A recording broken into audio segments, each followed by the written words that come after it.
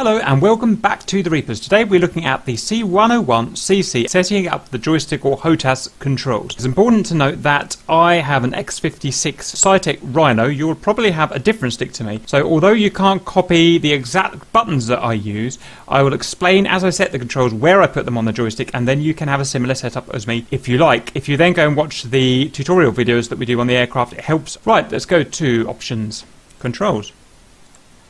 Uh, where we're going to find it at the top here, I guess. C101CC. Let's quickly explain these columns. We've got the action here. There are hundreds of actions in this aircraft. We will only need a few. We're just going to set the basic skeleton up. We need to fly and use our weapons and navigation. Next, we've got the category that that action falls in. Next, we've got the keyboard command that's currently bound to that action. Next, we've got the left HOTAS button that's bound to that action. Next, we've got the right HOTAS that's bound to that action. The left HOTAS is, you know, your thrust stick side of the HOTAS. The right HOTAS is the control stick side of the HOTAS. So first of all, we're going to start with axis commands. Uh, now, I've already got these all set up because I've flown the bird. We're just going to basically tape over them, so you can imagine that they're not there at the moment. First thing we're going to get is zoom view. It's something you will need to fly. It'd be very almost impossible to fly without it. I'm going to set it up as an axis on my left HOTAS. So I'm going to double left click there. I have a turny wheel on the top of top right of my HOTAS thrust stick. I'm going to turn it right, turn it left. It's picked it up. Okay. Test it. And it's good. Next is our thrust. We only have, have one engine, so I'm going to have both of my left throttles linked together. Double click here, move it forward, move it backwards. Okay, it's picked it up, test it, and we're good to go. Next we have our rudder axis. We're going to double left click here on our right HOTAS. You will probably have control pedals that you need to put here. I can't use control pedals, so I'm going to have a twist grip on my control stick right HOTAS. I'm going to twist it left, twist it right. It's picked it up. Okay, test it. Lovely. Next, I'm going to go axis tune. You'll have to do these three axis tune. Now, you can see that my stick is slowly getting worse and worse. That dot wants to be in the middle of that black square there. It wants to be about there. So that, if I just wobble the stick, that's where it's settling at the moment, which means that it is issuing input controls when it should be neutral. So what we're going to do is add some dead zone, so just enough dead zone, so that the flat here covers this red. That means in the stick's natural position, where it settles, it will not be giving any input. Next, we want curve. 25 is my standard curve. You may choose others, but 25 just works for me with all of the aeroplanes to keep it nice and simple. This gives us more control around the small movements of the stick, less control of the big movements of the stick. So more control here, less control up there, and you hardly ever use the big movements of your stick. Next we go to roll, double click. Uh, we're going to move the stick right, left, then right. This is the right HOTAS control stick. Okay. Test. Axis tune. We don't need any dead zone, we do need some curve. Okay. Next, pitch. Double click. Stick forward, stick back. Okay. Test.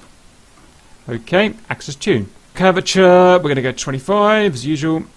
Okay, and that is our axis down. Next, we're going to go to search to find the remainder. So we've done the axes buttons, now we're going to do the binary but on and off type buttons. So we're going to type in flaps under search, and we've got flaps, all of these different flaps we can use. What we want is flap next and previous detent. I've got a four-way switch I use on the right side of my left HOTAS thrust stick, and I use the up and down positions for flaps. So this is the one I always use for my flaps, so it's going to be the down position for of that four-way switch, and Previous flap detent, I want the up position of that four-way switch. Next, I have a switch exactly above that that's used for air brakes. So that's brake. There it is, air brake extend and retract. Same thing, left HOTAS on the right side of the control stick, down for extend, up for retract. Let's see if we've got an auto start. I forgot to check for that. We do have an auto start. This is something that's very useful to have. I'm going to have it where I always have it on the top right of the base of the left HOTAS. So on, and let's see if we have an auto stop, which I'm sure we will do. Same thing, but the down position for that switch. Okay.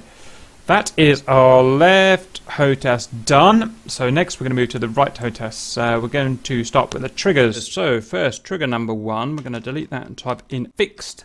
There, fixed weapon trigger will fire the cannon. And we're simply going to have it on our right HOTAS control stick as what I call trigger number one, the main trigger. Okay, now recently added, uh, this is December 2019, is a guard for the trigger and the weapon release trigger.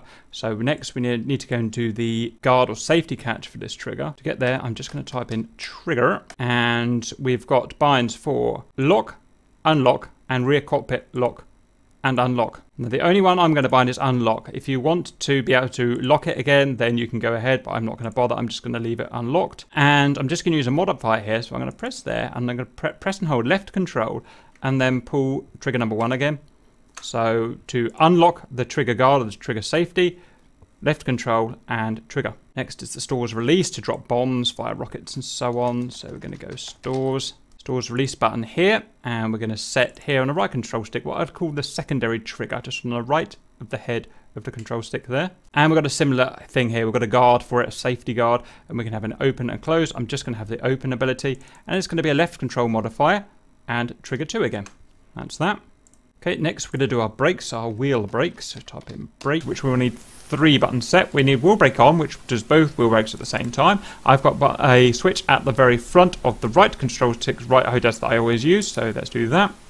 And next we need our left and right differential wheel, wheel braking for if you want to be able to taxi. On the top of our control right HOTAS control stick, we've got three four-way switches. We're going to use the bottom right one, and we're going to use the left and right element for this. So left on that on that four-way hat switch, and for right, right on that four-way hat switch. Next, we need to set our, our trim. I'm going to type in here trim. That's a bit annoying. There's lots, but okay, we can do this. So we've got trim left wing down. Another four-way hat switch on the top right of the control stick. We're going to click left wing down, the left part of that four-way switch. Down, the down command, uh, the down facility of that hat switch. Up, up facility of that hat switch. And right the right function of that four-way switch. Okay, so that's the trim done. Now the only other thing I want is the gun range sighting. So we're going to go here, top range, range selector next, and previous. Uh, now if we go back to the bottom right hat switch where we set the wheel brakes left and right, we're now going to set the up and down function of that four-way switch. For next, we're going to press the up function. For down, uh, for previous, we're going to press the down function. And that's that hat, hat switch complete. Right, that's it. That's the main basic control setup. I hope that's useful and see you later.